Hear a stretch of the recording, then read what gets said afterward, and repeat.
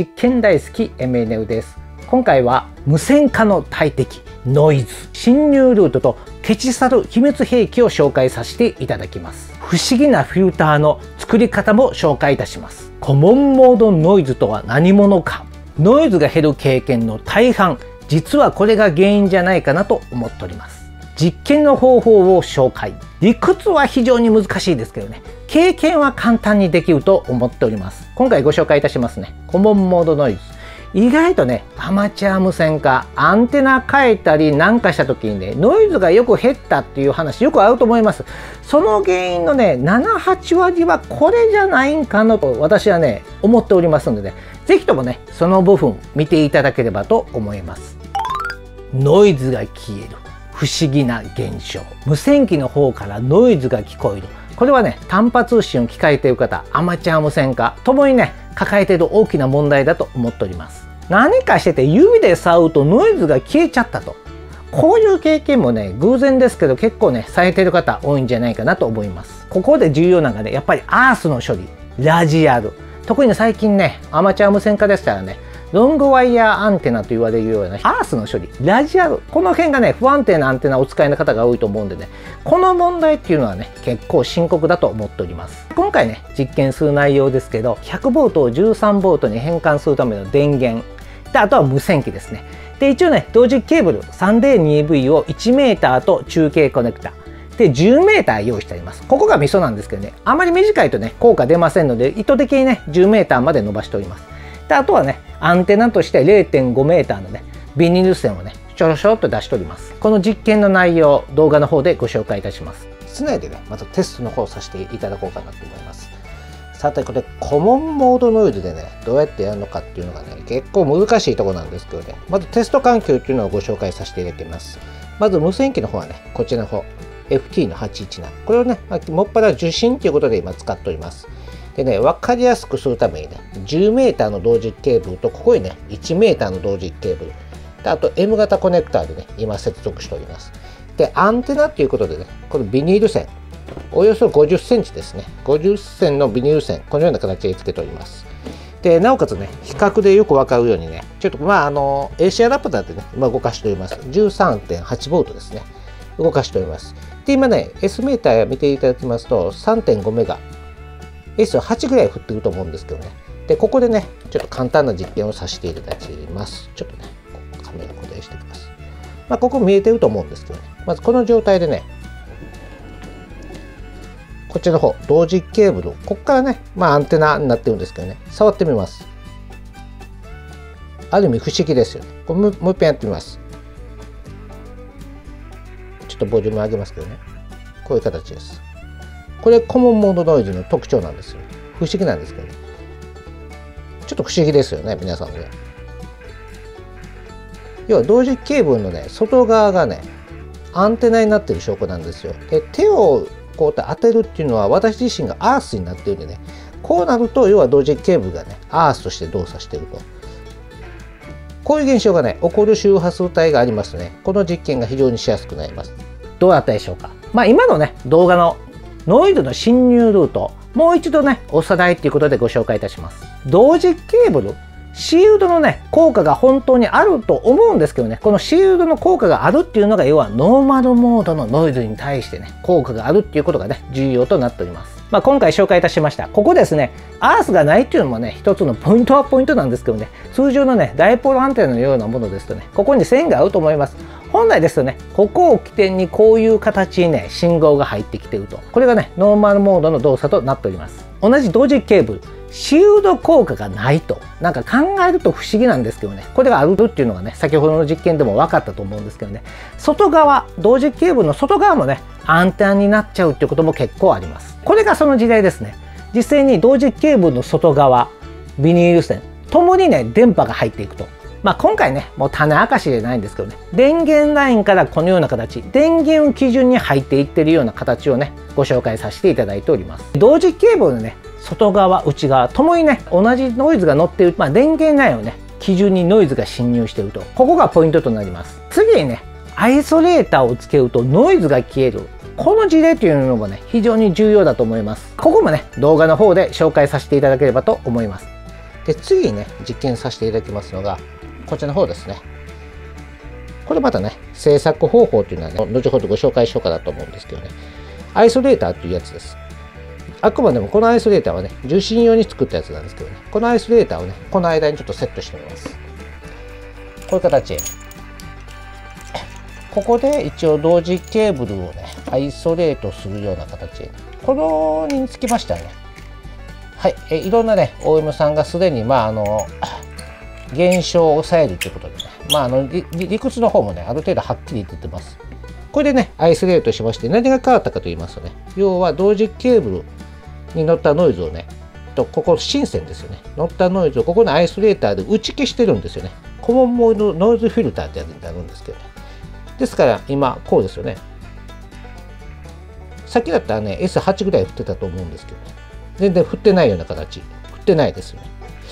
これがねまあある意味コモンモードノイズの一番よく効いているような形だと思います。ただしねこれがね3.5メガだからよく効いてるんだってね別の周波数はねあまり効かないとこもあったんでね効く効かないがはっきりしますけどね今回はまあとりあえず一番効く周波数っていうのをね要はここ手で触った感じでね探し出して今ご紹介させていただきました。今日だった 1m と 10m の間にアイソレーターをね取り付けております。こうなりますとねこの同時ケーブルの中身下手くそな絵で申し訳ないんですけどね内側と外側に同じ位相のノイズ同じ波形のノイズが乗っているという点がねポイントとなっております。この信号をね先ほどありましたアイソレーターでよくあのまあ同位相だから打ち消すともうそれ以上のね意味考えると頭痛くなるんですけどねアイソレーターで同位相の信号を打ち消してねノイズをキャンセルしているっていうのがポイントとなっております。コモンということで先ほどもねご説明いたしました外部電源を打ち切るとノイズが減るっていう事例をね動画の方で紹介させていただきます。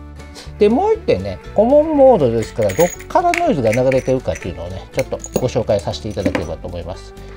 ちょっとまた元の状態にこのような形でねちょっと戻させていただきますねこういう形で。原曲ってるでしょ。ほら、なんか、当たり前になったりですけど、手で触りますね、ここ。ここですね。ここ、こここ見てもらうと。ですよね。おいおい、これはどっから流れてるのかと言いますとね。やっぱりこの電源ラインなんですよね。要はコモンモードのようになるんで、ね、コモンのがこっから流れ込んでたんですよね。電源ラインから。今はね、このような形。静かになったでしょ。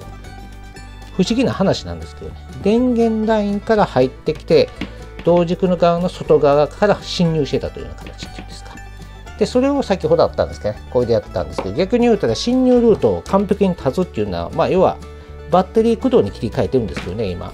AC 関係全然つながってないです。DC 電源からね、要は完璧にアイソレートされたような電源ラインから言ってますから、ノイズが聞こえないと。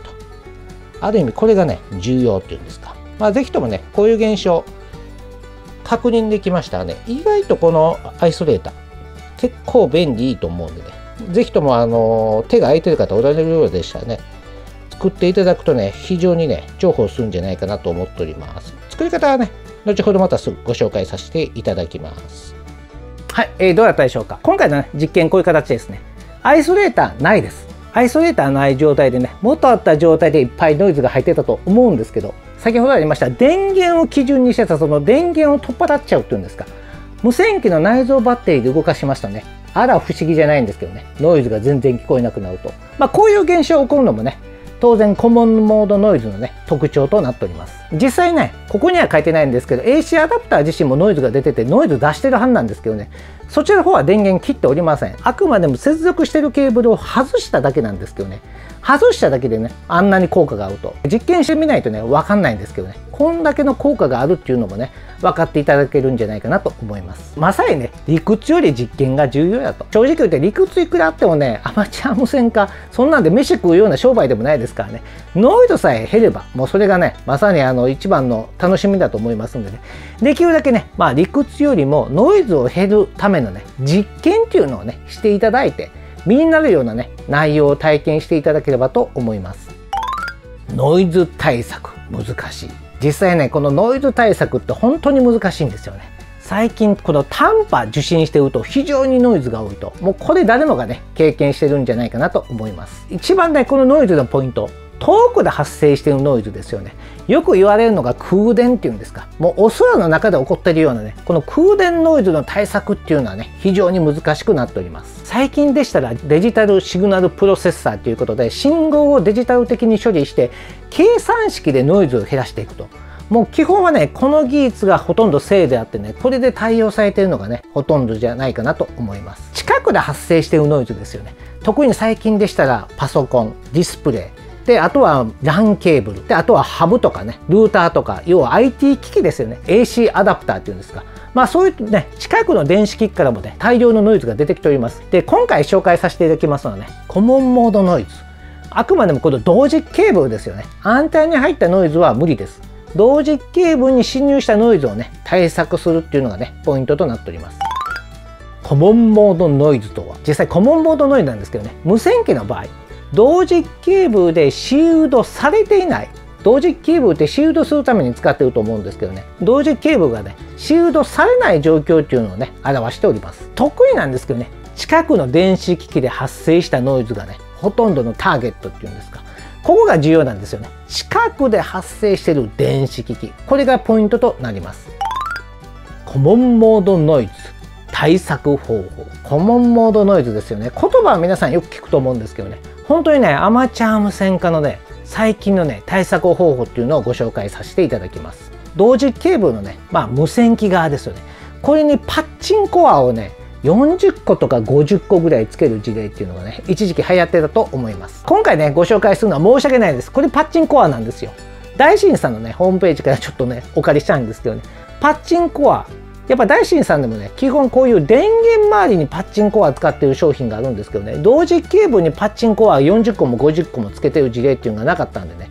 まあその辺はねネット探していただくといっぱい事例っていうのはね各局さんが挙げられてると思います。もう同時ケーブルじゃなくてねもうある意味パッチンコアの大行列っていうんですか。太い同時ケーブルに見えるんですけどね私も見てびっくりしたんですけどね。やられる方はねもう40個も50個もパッチンコアをね使ってコモモードノイズをね対策されてる方も結構おられると思います。同時ケーブルをねコアに巻きつけてる方法っていうのもねよくされてると思います。実際これがね大震さん。概要欄の方にねリンク先貼っときますけどね。結構ねこういうような形。コアに細い同時ケーブルをね山のように巻きつけてると、まあ、巻き方もね少し特殊な方法を採用されてるんですけどね。まあこのような形でね要は同時ケーブルをコアに巻きつける商品っていうのがね結構販売されております。受信だけでしたらねもっと簡単な方法があります。アイソレータ簡単製作。アイソレーターアイソレーターってね呼ばさせてもらったんですけどね正式にはガルバニックアイソレーター。これネットで検索していただきますとね通信販売もされておりますね、まあ、買っもええんかなと思うんですけどね。正直言うて作った方が手っ取り早いと思いますしね。身になることもたくさんあると思います。是非ともねこのガルバニックアイソレーター買うのも一つの方法だと思うんですけどね。作る方法も紹介させていただきます。まず回路は非常に簡単です。こちらの方はね、概要欄の方にリンク先貼っておきます。制作されてる方によっても違うんですけどね、基本アンテナ側にね、コンデンサーをつけてる方とつけてない方がおられるんですけど、私はね、取り急ぎアンテナ側、DC のラインもね、カットできるようにっていうことで、コンデンサをね、つけてるタイプを制作してみました。部品の方もね、簡単にご紹介いたします。実際部品の方もこんな形ですね。M 型コネクター2個。で、この前ね、エプソンのプリンターを破壊した時にね、取り出しましたコア。でね、その時に使われてたこの電線もね、ちょうどツイストペアに巻かれてたんでね、これはね、ちょうど簡単になるということでね、使わせていただきました。あとはコンデンサーとで、ここにありますのがね、まあ、実際スペーサーの代わりに使いました。商品とか買いますと、0.5ミリぐらいの塩化ビニールの透明性のね、こうシートみたいなのがね、こう窓としてよく使えてると思うんですけどね、それを取り出して使っております。あとは結束バンドも使っております。こちらの方コアできるだけねツイストペアにねこう巻かれた線をねまあ巻けるだけコアに巻きつけていただくとまあ5回から10回ぐらい巻けるようでしたらね巻ける範疇巻いていただければ十分な効果があると思いますこういうような形 M 型コネクタに取り付けてハンダ付けでコンデンサーも取り付けております。組み立ての時で一番のポイントがコネクター同士はね絶縁させる必要があります。ここもね人によりましたらね。ここもね絶縁体で作られたスペーサーと言われるものをねご準備されて固定されてる方も多いと思うんですけど今回はねちょっと部品手元になくて買いに行くのもめんどくさかったんでねこのような形で要は先ほどご紹介いたしました 0.5mm ぐらいの塩化ビニール製の板をね簡単に四角に曲げましてねそれを結束バンドで押し付けて固定してると。もう手抜いただけなんですけどね。まあこういう作り方もありますのでね参考にしていただければと思います。完成した姿がこのような形ですね。ちょっとねじれの力には弱いんですけどね。私が使ってる分にはね全然問題なく使えてたと思います。まあ一つの事例ということでね参考にしていただければと思います。部品があればね正直言って20分ぐらいで完成しましたね。一番の大仕事は部品集めだと思います。まあ串が品買うのもね一つの方法だと思うんですけどね。機会があるようでしたらね是非とも作っていただければと思います。使い方。これのね使い方なんですけどね。特にコモンモードノイズがねあるかないかを見極めるためのね道具として考えていただければね一番早いと思います。無線機に対する正しい使い方なんですけどできるだけね無線機の近く近くに取り付けていただくと。これが正しい使い方となります。逆にね無線機から遠いところ要はアンテナの近くに使う使い方っていうのはねあまり適さないと思っております。つけてね止まればコモンモードノイズが原因だと。完璧に止まるってことはなかなかないと思います。ただ S メーターがそれによって自分が満足できるとこまで下がるようでしたらねそれはコモンモードノイズが原因だったと特定できると思います。このフィルターね残念ながら送信には耐えられないと。あくまでも受信専用に作られておりますので必ずね送受信兼用にする場合には別のものにね交換する必要があります。要は細い同時ケーブルで巻きつけていくようなタイプ。こういうものがね市販またはキットとして販売されてますからね。こういうものにねそういう現象が現れた時には移行していただければね効果的にノイズキャンセルできると思います。重要なのがねアースラインも見直したと。どうしてもフィルターばっかり目がいってるんですけどね。先ほどもね動画の方でご説明したと思うんですけど指当てたらパチってノイズなくなったと思います。意外とねコモンモノノイズってこのアースが重要なんですよね。ただアースってなかなか取れないは取れないんですけどねアマチュア無線化みたいにね電波を飛ばす時にはこのアースっていうのが重要だと思います。コモンモードノイズがね多い傾向としましたらやはりねこのアースラインがね不十分なことが多いんでね是非ともここのね見直しっていうのもねフィルターつけることも重要だと思うんですけどね。実はそれ以上にねこのアースラインの見直しっていうのがね非常に重要だと思っております。こういうもの1個あるだけでね切り分けできると送信には使えないんですけどね。あくまでも受信の時に効果があればねどう対策していけばいいのかっていうのがね分かっていきます。作るのが簡単なんでねやはり送信用作るとなるとね結構部品集めるのも大変だと思います。お金もかかると思うんでね。是非ともね障害が発生した時の切り分けの道具としてねご準備いただければと思います。まとめの方をさせていただきます。実際ねこの無線化の大敵ノイズが減る原因特にアンテナ周りいろいろとね騒がれてると思います。大体分かってることはねアンテナ系でしたらね電解型磁界型ですよね。よくあるのが、まあ、電解型っていうのがダイポールアンテナ。で磁界型っていうのが、まあ、ループ系っていうんですか。お互いの端がつながっててオープンになってないもの。で特に磁界型の極端に小さなマグネチックループみたいに小さくなったものがね特に磁界型、まあ、こういうものはねノイズが減るっていうことで有名だと思います。であとはもう一つはねよくいろんなアンテナとかなんかしたらノイズが下がったっていうのがね7割から8割はねコモンモードノイズ。これの変化の方がね実はアンテナ本体じゃなくて要はコモンモードノイズが減ってノイズが減ったっていうのが正しいんじゃないかなと思います。カーボン直接給電。これ私もまだね引き続き実験しております。ちょっとね今バタバタしててねまあまあしか実験できてないんですけどね。ノイズが減る原因っていうのはね多くの方がご報告されてますから嘘ではないと思うんですけどね。実はねまあエレメントでノイズが跳ね返されるっていう表現っていうのも否定は全面する気はないんですけど理屈上はねノイズっていうのも電波です。それはあんまりないと思うんでね私自身はねアンテナのパラメータが変わることによってこのコモンモードノイズが減ったのが正じゃないかなと思ってね今のところはね、まあ、精力的研究しているような形となっております。フィルターばっかり説明しますとね皆さんどうしてもねフィルターコータでなんとかなるのかっていう話になると思うんですけどね実はねハースの方がもっと重要じゃないかなと基本アースだと思うんでねアースさえちゃんと取れたり対策していけばほとんどの場合ねこのコモンモードノイズっていうのは対策取れると思いますからね。まあ取れない時もあるとは思うんですけどね。意外とねアースの重要性っていうのをね再認識していただいていろいろとねチャレンジしていただければと思います。このような形コモンモードノイズですよね。アマチュア無線化の大敵についてねご紹介させていただきました。是非ともねこんな動画見たりねもの作るよりもね一番最初にお見せした動画のようにね意外と身近なノイズ源っていうのはもう部屋の中にいっぱいあると思います。室内の中でもね簡単に実験できると思いますので是非ともね実験していただいてどう対策すればどうなるのかっていうのをね経験していただければと思っております。お空でお会いする日楽しみにしております。よろしければチャンネル登録の方もよろしくお願いいたします。